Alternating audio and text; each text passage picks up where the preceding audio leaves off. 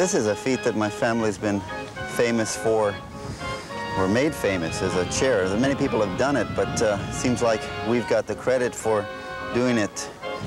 Lady would be on a chair just the way you see me now. And at a certain point, they'd stop in the middle. And as soon as this wind gives me a little break, she would stand up just like that. Hopefully they wouldn't have the wind like this. Meet Tino Wallenda Zoppe, a great high wire performer in his own right, whose circus family spans six generations. His mother was the daughter of the great late Karl Wallenda. His father was one of the premier bareback riders in the world. Their acts can be traced back to Italy as early as 1842. How did the great Wallendas become known as the Flying Wallendas? We were performing, and I say we, that was back in the 30s, performing somewhere in the Midwest. And there was an upset on the wire. They were doing a four-person pyramid on bicycles involving a chair at the time and everything came down. The four performers went to the wire and clung to the wire. There was a reporter in the audience.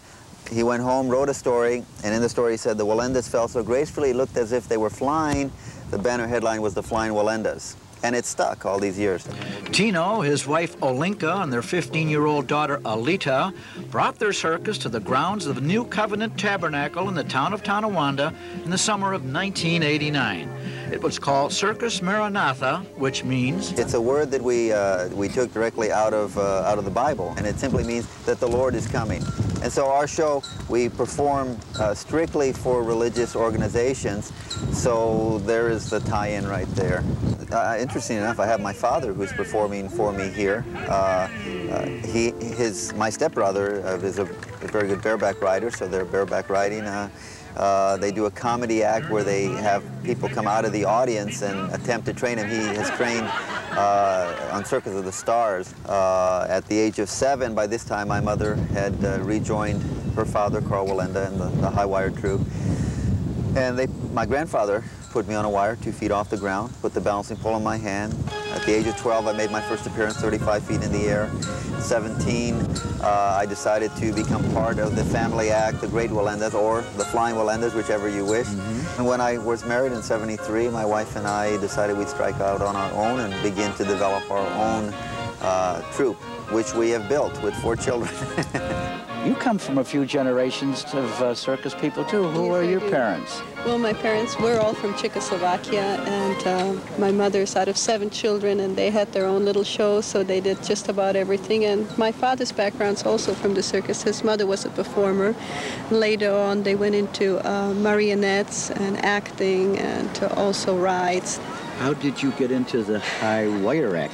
My grandmother's from a high wire performing family, and my mother did all kinds of aerial things. And so when Tino and I met, I already had my own act, which my parents trained me for. I do head balancing and trapeze and upside down walk. So we just combined our talents. Do you foresee the day when all of your children will be doing the high wire act? I don't know. Do you encourage them?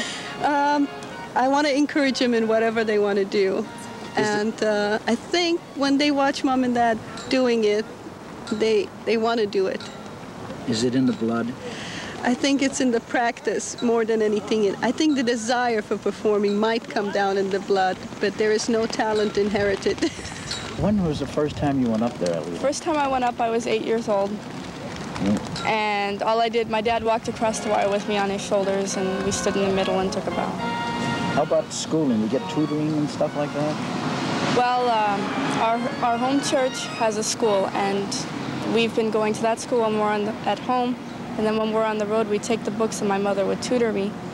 But I've graduated from that school, and so right now I'm taking correspondence courses. Tina, you have had tragedy, you know, in your family uh, over the past few decades. Uh, did you ever discuss it or think about it? It's something that you continually have to think about, uh, and the reason why. Um, we've, uh, for myself, I've determined what I felt was the problems in Detroit when the seven-person pyramid collapsed, and uh, of course when my grandfather fell in 1978 to his death. Uh, one of the fortunate things there was that they had that videoed, and seeing the video, we could determine that there was a problem with the equipment mm. that uh, resulted in his fall. The, uh, it's hard to say that that encouraged us to keep going, but at least we knew what the reason was. It, it was very hard to get back on the wire. No nets, no safety devices. Why? There's a lot of uh, illusion that goes along with a safety net. Uh, a safety net is only good if it will do what its purpose is, is there for. And you have to land properly.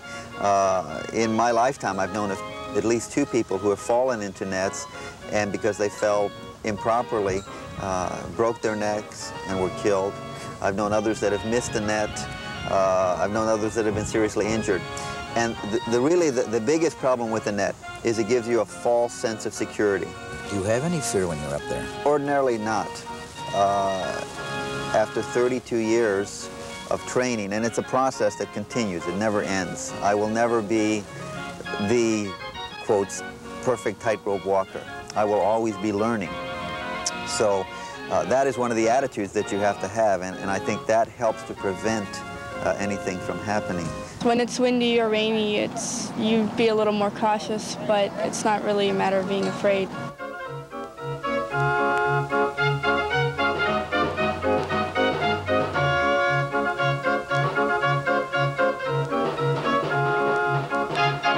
No fear? Usually not at all because we feel very, it's a controlled atmosphere and we feel that uh, we have practice and we have faith in God who will keep us up there. And uh, it's a very relaxed and a very enjoyable. How will Tina know when it's time to quit? Good question. Uh, I'm going to have to trust my senses. I'm going to have to trust uh, the God that gave me these talents to tell me when to quit. I do realize that there will be a time that I have to start cutting back and slowing down. But my grandfather was 73 when he fell to his death, and the only reason that he's probably not performing today at, in his 80s is because uh, the problem with the wire and not any problem with his age. So I anticipate that I can be walking the tightrope in my 70s, maybe in my 80s.